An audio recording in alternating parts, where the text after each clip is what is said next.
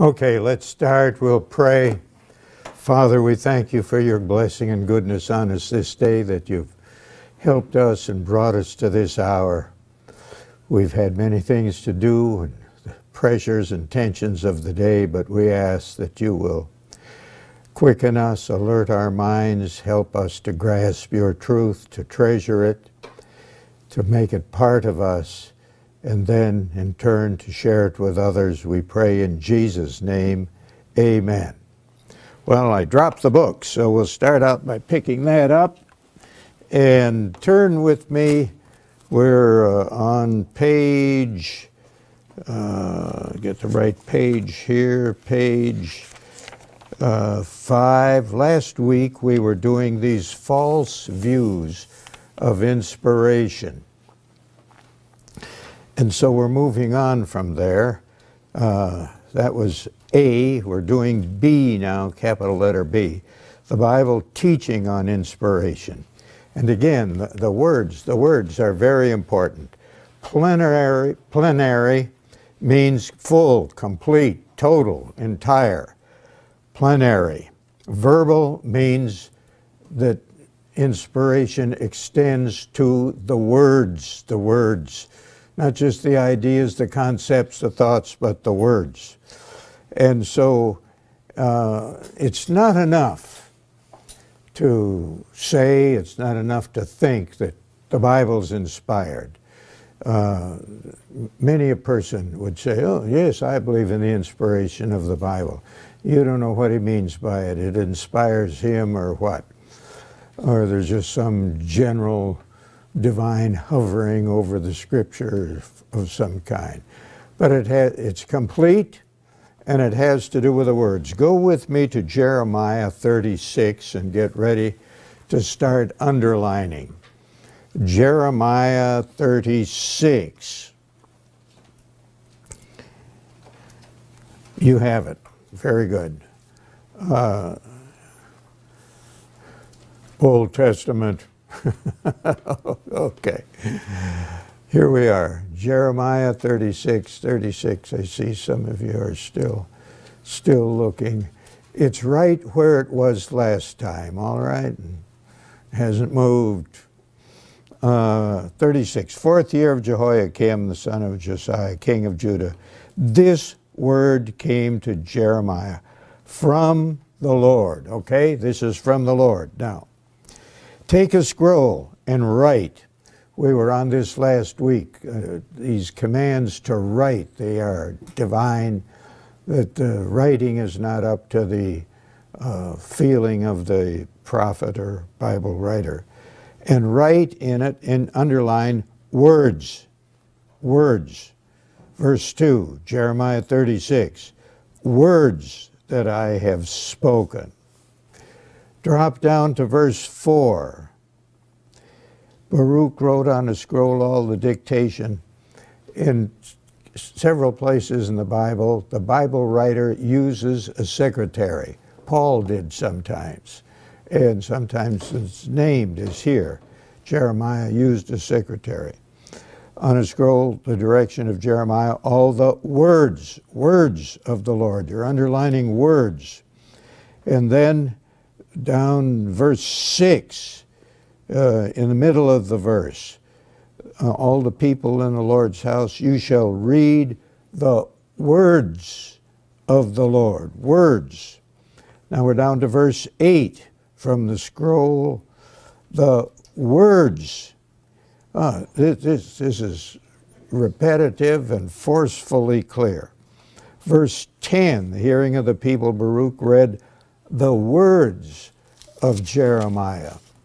And again in verse 11, they heard all the words, words, words. You're underlining. Verse 13, uh, Micaiah told them all the words he had heard. Verse 16, when they heard all the words, they turned to one another and so on. What must we report all these words to the king? Then, verse 17 again. Please tell us how you did write all these words. Was it at his dictation? Baruch answered them. He dictated all these words to me. And then down in verse 20, uh, they reported all the words to the king.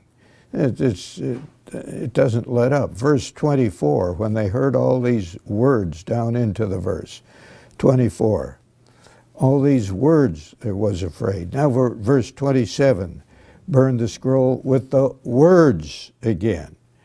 And then they were burned. 28, write on it all the former words. And it, it never lets up, this long chapter, down to the last verse, the last half of it. Uh, wrote on it all the dictation of Jeremiah, all the words of the scroll. And then many, at the last sentence, similar words were added to them. In other words, uh, when we're talking about inspiration, it's not just the general idea, the thoughts, the concepts, the ideas that are given to the to the people who are the writers, but it's it's down to it's down to specific words words, words, words, words. And uh, that, the repetition in that 36th chapter of Jeremiah is significant. Now let's go to 2 Peter. 2 Peter, we're looking at the first uh, chapter. This is an important text. 2 Peter 1 21.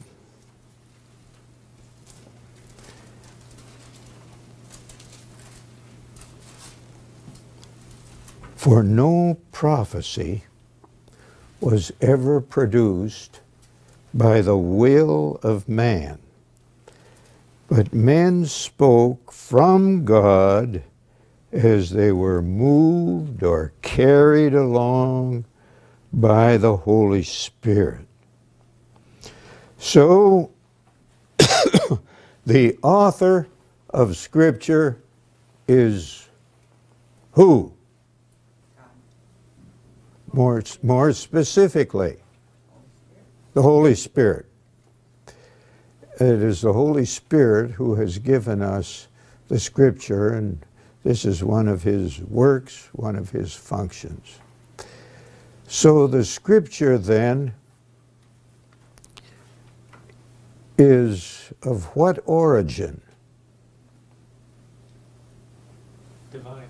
Divine. It's of divine and not human origin. Now, others make a similar claim. Joseph Smith made a claim, you know, for the Book of Mormon and that this was and and the the Islamic scholars claim that uh, uh, an angel or God gave the Quran to to Muhammad and so on. I think the answer to this is you start reading. I have read through the Quran twice and I'm not going to do it again. The second time was laborious. Uh, once you've read the scripture, uh, you, you, don't need a lot of insight to sense a, a marked a marked difference between the two. And it is just bedrock in historic, biblical, Orthodox Christianity that the scripture is not a book of human origin. God used humans to write it, as we saw from Jeremiah 36. But it is divine, it is supernatural in origin. One indication of this uh, would be are your wheels turning? That the Bible is not a book of human origin, but divine origin. One strong evidence of this. How old it is. Is what? How old it is. Well, there are other writings that are old. Oh, prophecy. Prophecy. Prophecy. Uh, fulfilled prophecy, we have to say. If you go to your Thompson Chain Reference Bible, you'll find, and this is interesting at the present time, uh, time of year that we're in, it has a table of fulfilled prophecy. The Old Testament in the back, in the helps, the Old Testament prophecy, the New Testament fulfillment in the life of Christ in his first coming. One after another, after another, after another. We just came off Palm Sunday last week. You got Zechariah 9 9. And with a very plain, indisputable, literal fulfillment on it. Uh, how do you explain these things? other than th this book is not produced by, by human beings. And uh, so 2 Peter 1.21 is an important text. Uh, not by the will of man. This is not by who said, I'm going to sit down and write part of the Bible today, you know. No, no, no, no. But they spoke as they were moved, carried along by the Holy Spirit. Let's go to 2 Timothy 3.16 because this is another anchor kind of, uh, kind of text. 2 Timothy 3 script 16. We'll back up. He's writing, Paul writing to Timothy, start at 14. But as for you, continue in what you have learned and firmly believed, knowing from who you learned it, and how from childhood, he says, you have been acquainted with the sacred or holy writings which are able to make you wise unto salvation through Christ Jesus. And then comes 16. Uh, uh, the, the key, key word in this verse is which one? All. The first word, all. And we were on this last week that it's scripture is not uh, uh, some of it inspired and some not. It's all, all inspired. And so it's not a case of some is more inspired or uh, some not inspired. It's all inspired. All scripture and clear as thing is breathed out by God. That is a very good, uh, good word, good translation. King James in all scriptures given by inspiration. Uh, it has to do again with breathing out, but it's the English is a little old and therefore not not as easy to get a hold of. And because all scripture is breathed out by God and is profitable for teaching, reproof, and correction, training in righteousness, so on.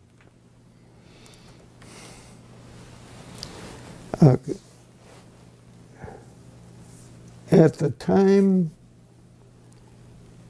at the time Paul is writing this, what was Scripture? What's he talking about? The Old Testament. Old Testament, basically. Um, much of the New had not been written. And so he's talking about the Old Testament. And that brings us to people who sort of denigrate the Old Testament. That, well, that's not very important. Uh, we're New Testament people, and we go by the New Testament. Well, you, you've got severe, severe problems with that. 77% of the Bible is Old Testament. And so if you kind of sideline the Old Testament, you have trashed over three fourths of Scripture. Furthermore, uh, 32%, almost a third, of the New Testament is Old Testament quotes. 32%. So the New Testament writers didn't have a low view of the Old Testament because a third of what's in the New. There's 600 quotes from the Old Testament in the New Testament.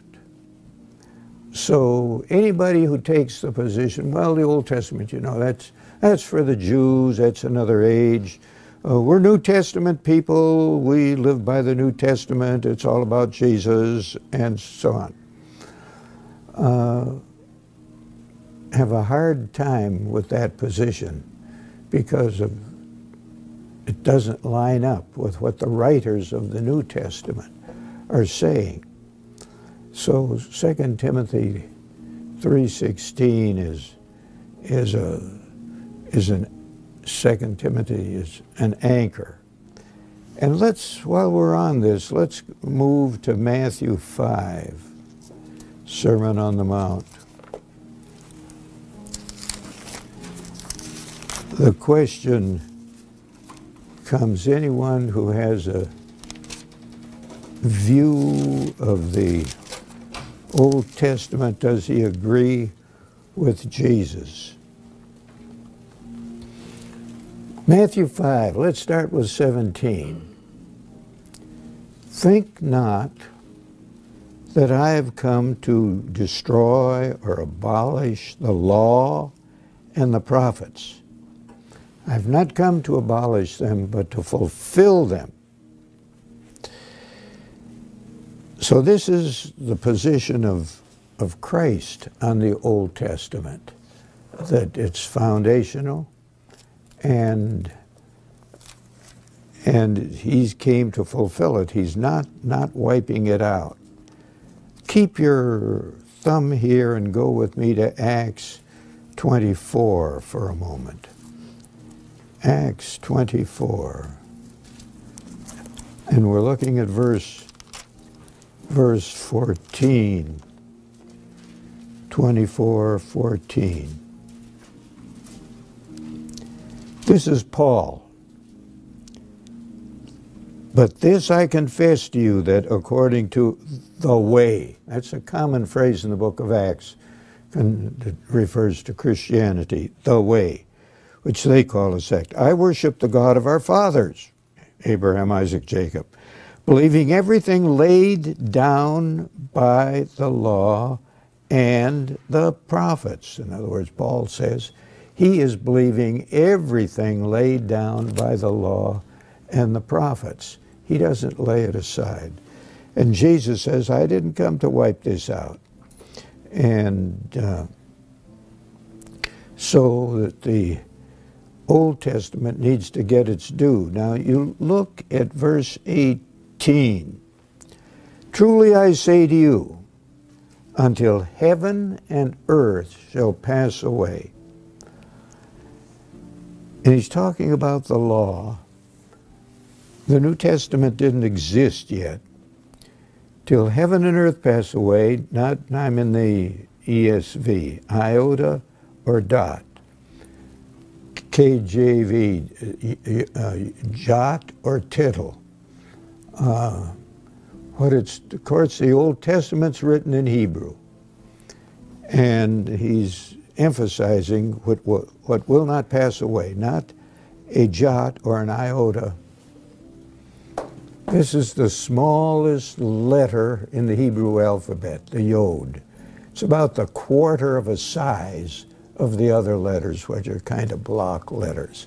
So not he is he saying not even the smallest letter will pass away. And then he squeezes it tighter. The tittle is just sort of a, a tail on a letter.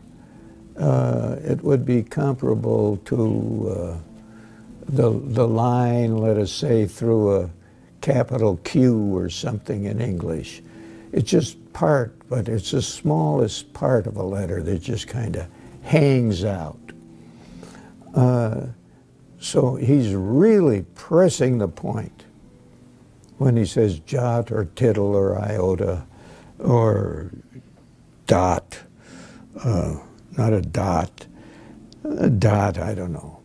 There was no punctuation in the Hebrew, so a dot is a, a punctuation, but the translators are struggling to get the point across that not anything at all is lost.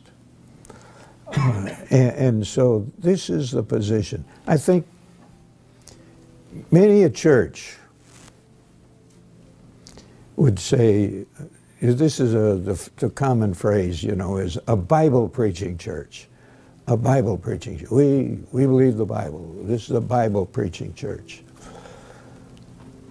Do the Bible classes get into the Old Testament?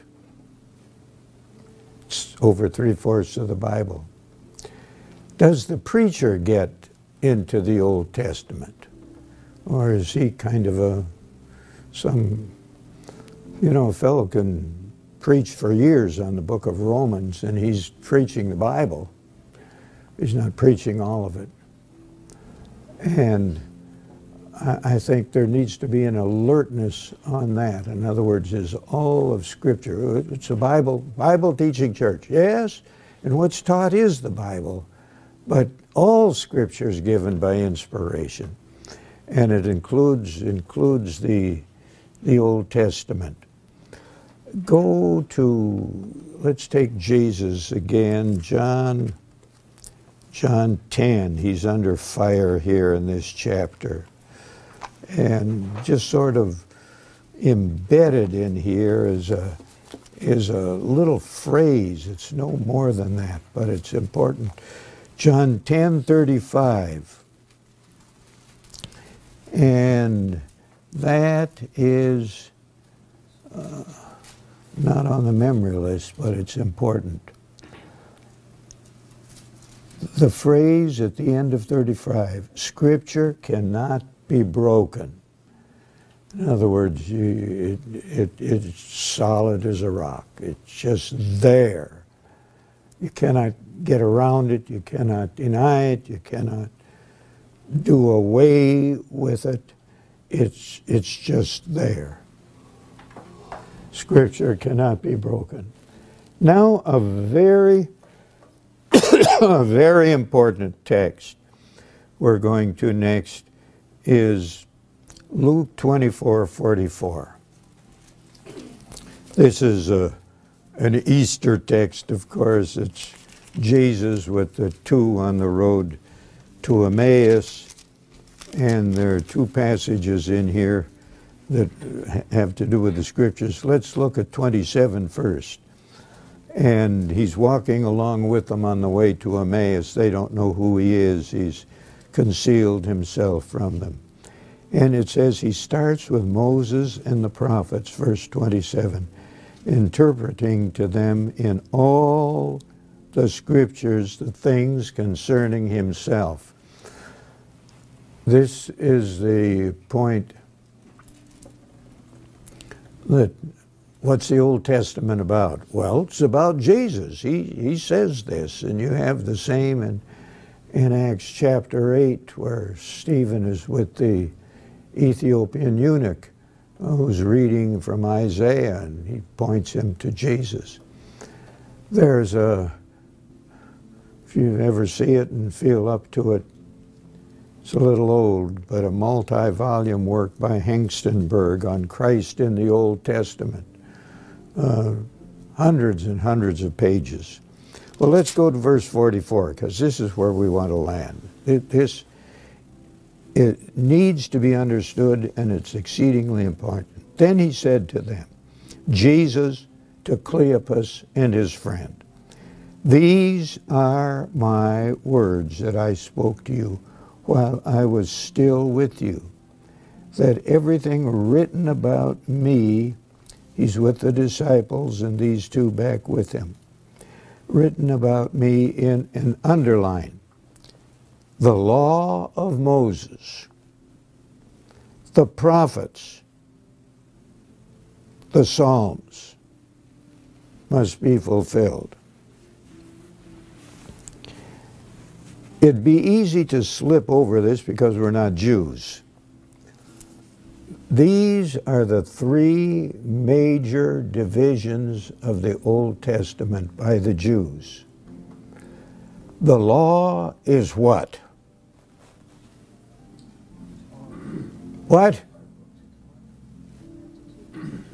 The law, the law. First five books.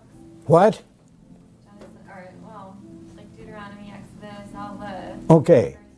The, the five books of Moses Genesis, Exodus, Leviticus, Numbers, Deuteronomy. This is the law. So when Jesus says the law, he's referring to the Pentateuch, which means the five. The five.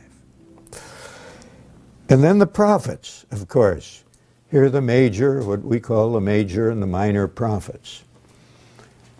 And then, in the way the Jews divided and thought, when they said the Psalms, they meant all the poetical books. Job, Psalms, Proverbs, Ecclesiastes, Song of Solomon, all of them. So, what you have here and then the law of Moses, the five, the prophets, the Psalms.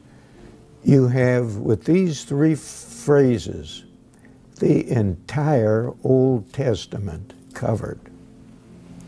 Now, this, this leads us to the question that had been raised earlier in this class, and we hit it very briefly the question of canonicity. By canon, we mean what books are Bible books. And if you find uh, some place an old Bible, you may find some apocryphal books in it. If you find a Roman Catholic Bible, you will find books in addition to what's on this list in there. First, Second Maccabees, Judith, Bel and the Dragon, and Tobit, and some others about 14 or 16 of them. And in talking with Catholic people, somebody may say to you, you, you Protestants, they mean, have taken books out of the Bible. Ever get that in a conversation? No, you, don't talk to Catholic people. what? Most, of them, most of them have no idea. They have no idea. Now and then you'll get somebody who may throw that at you. Okay. To which, uh, you know, it's easy to get into a knockout argument. But what you say then is when were they taken out? And what was taken out? Well, they probably don't know. They're not that. They just heard somebody say that we uh, took books out of the Bible. Those other books, about 16 of them, were added by the Council of Trent which uh, started meeting in 1546. And the Council of Trent was an anti Protestant council. It was called by the Pope to do away with all the errors of Luther and Calvin and the reformers.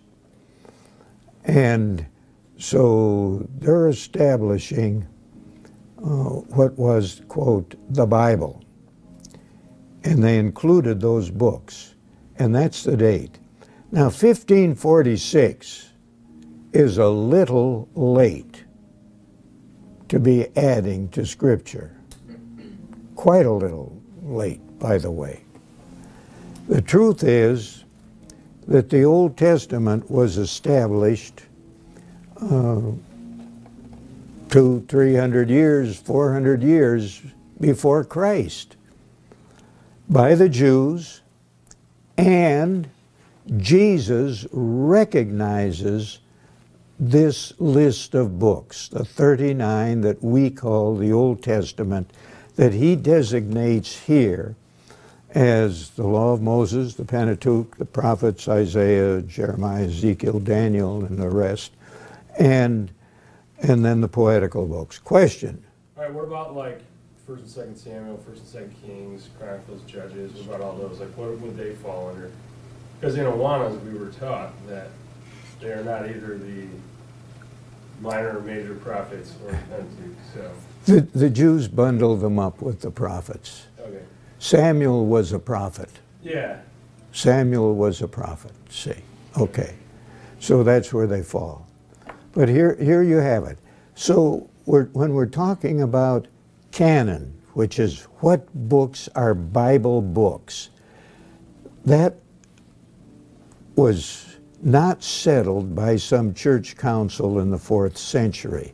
This was settled before you ever heard of John the Baptist or Christ was born. This, this is all taken care of several hundred years before that.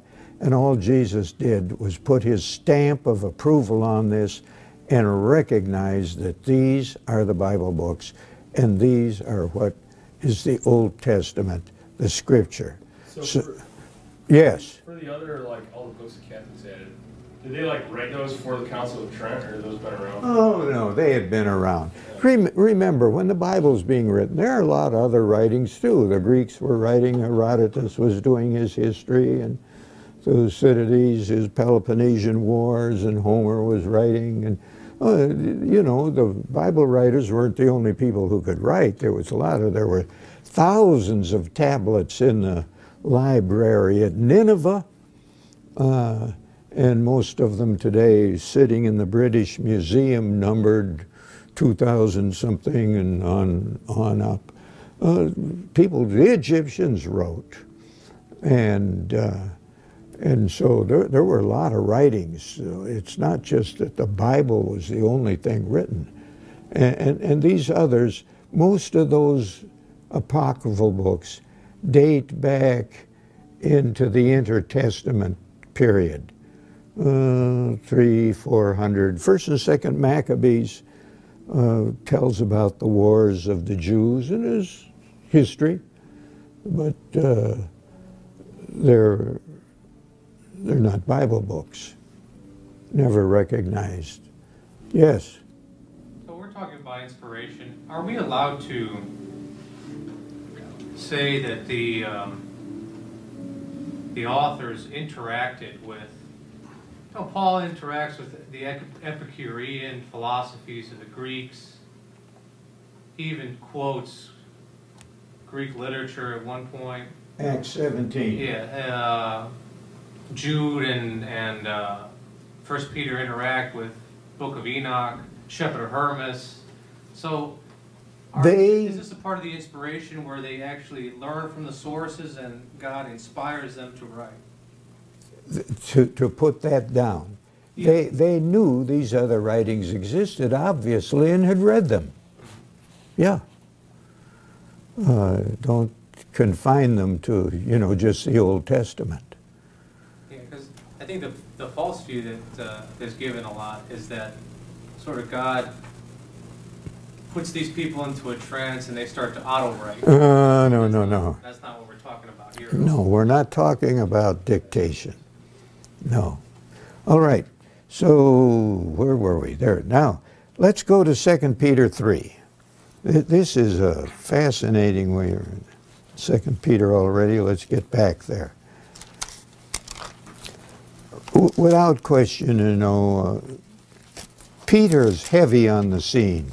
In the Gospels, the first 12 chapters of the book of Acts. Uh, just because our Catholic friends say he was the first pope doesn't mean that Peter wasn't important. He was exceedingly important. He, he was the lead apostle, there's no question. And the one who did more talking than anybody else in the Gospels, and he has these two letters. So we're in 2 Peter 3. So let's start with verse 14. Therefore, beloved, since you are waiting for these, be diligent to be found in him without spot or blemish and at peace. And count the patience of our Lord as salvation, just as our beloved brother Paul. Hey, that was nice since Paul had rebuked him once, you know, uh, told him off. They mended, obviously. Our beloved brother Paul also wrote to you according to the wisdom given to him, as he does in. So you underline Paul, and you're underlining in 16 all his letters. Peter is aware of Paul's letters, which are half the books of the New Testament. When he speaks in them of these matters, there are some things in them that are hard to understand, which the ignorant and unstable twist to their own destruction, as they do, and now you're underlining, the other scriptures. What does the Apostle Peter do with Paul's letters? What? He ties them together with the other scripture. Yes, he calls them what? Scripture. scripture.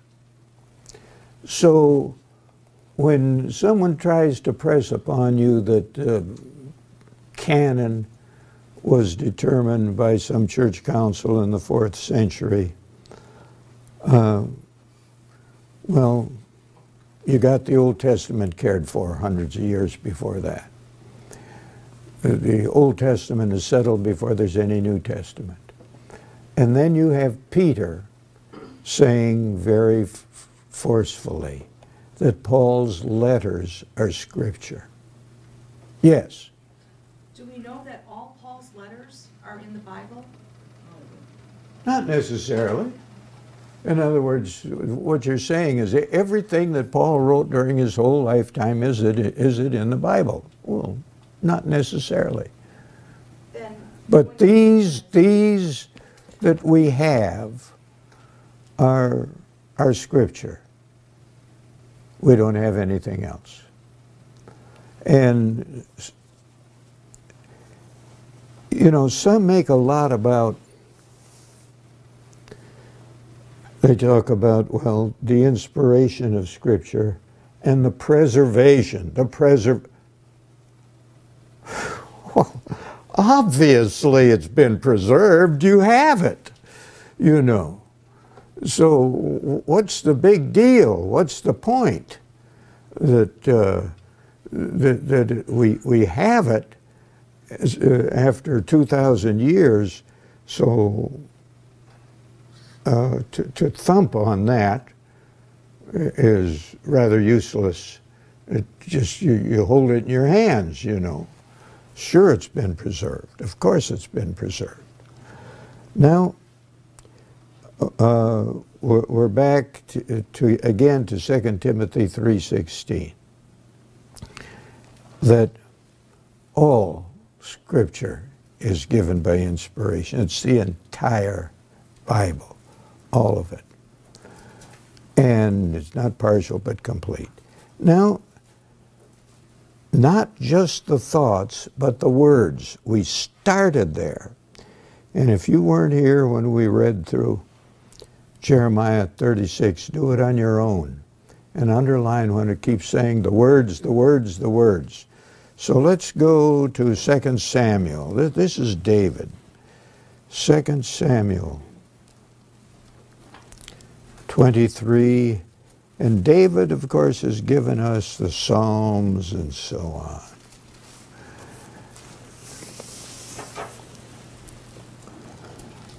Second Samuel 23 2. The Spirit of the Lord spoke by me, and his what? Word is in my tongue. We're down to the words. So uh, here's another Bible author, and you have later on, we're coming to, of course, this very clear, clear statement. While we're in the Old Testament here, let's go to uh, Jeremiah 1 9. Jeremiah 1 9. Then the Lord put out his hand and touched my mouth. And the Lord said to me, Behold, I have put my words in your mouth. So it's not just the ideas, the concepts, the thoughts that God gave to these Bible writers and then they just spun them out any way they wanted. No, I have put my words in your mouth. It's clear as crystal. Go with me now, since we're here, back a little bit to Isaiah, Isaiah 52, and pick up a, a, a similar, a similar text. Isaiah, and we're looking at Isaiah. Uh, I'm sorry, 51, 16. 51, 16 and you're underlining, and I have put my words in your mouth, says God to, to Isaiah. What could be uh, what could be clearer, clearer than that? Now let's go to 1 Corinthians 2.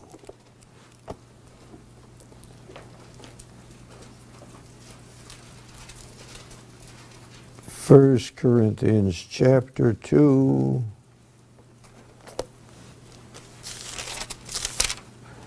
And we're starting at verse, uh, let's start at 10. These things God has revealed. There are some words that you, you, you, I'm going to hold your feet to the fire. You have to know what's meant by revelation, uh, general and special. You have to know what's meant by inspiration you have to know what's meant by plenary and verbal inspiration. So here we go. These things God has revealed to us through the Spirit. For the Spirit searches everything, even the depths of God. For who knows a, a person's thoughts except the Spirit of the person which is in him? So no one, also no one comprehends the thoughts of God except the Spirit of God. Now we have received not the Spirit of the world, but the Spirit who is from God, that we might understand. That's illumination, which is we're going to come to later. The things given to us by God. And now, verse 13. We impart this in words. Words. Not generalities, not thoughts, but words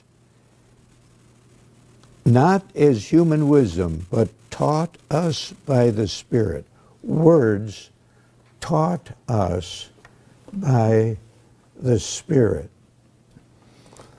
Now you have to think through these things because we live in a day of uh, slippery words. Again, there, there are preachers, Bible teachers, professors in colleges, seminaries, you can ask, you believe the Bible is inspired? And they'll look you straight in the eye and say, well, of course I do. And then they'll teach that it has mistakes in it. And that inspiration uh, has just to do with the spiritual things, like John 3.16 but it had, does not have to do with the history and uh, First and Second Kings or First and Second Chronicles. It doesn't have to do with dates. It does not have to do with uh, any allusions to the natural world and, and so on. And so you, so you have to be very, very discerning when, when you come to this. And people are easily bamboozled by people who uh, don't. We're, we're on Easter here again, and just say, you, you know, there are many a preacher you can say, Do you believe in the resurrection of Jesus Christ? Well, of course I do. But you asked the wrong question. You should have asked,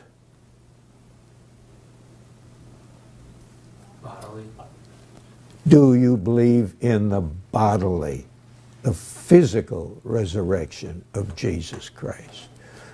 Well, that tightens it up, see, because he believed in the resurrection of the influence of Jesus, the resurrection uh, of his spirit. Of course, his influence never died, his spirit never died. So this is rubbish.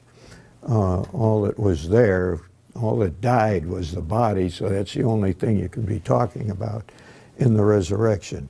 But there's a lot of slippery talk under the label of Christianity. Now, uh, we're going next time into the proof of inspiration. And we're we're going to start checking up next week to see how you're getting a hold of this stuff. And that should be enlightening and helpful. Uh, all all right. So, yes, that was a warning. so let's pray. Father, we thank you for your help and goodness. Give us hearts that love you, minds that are diligent in pursuing your truth. Give us discernment, we pray, that we may not be swept away by deceitful teachers, but know carefully what you have taught us in the Word. We pray in Jesus' name, amen.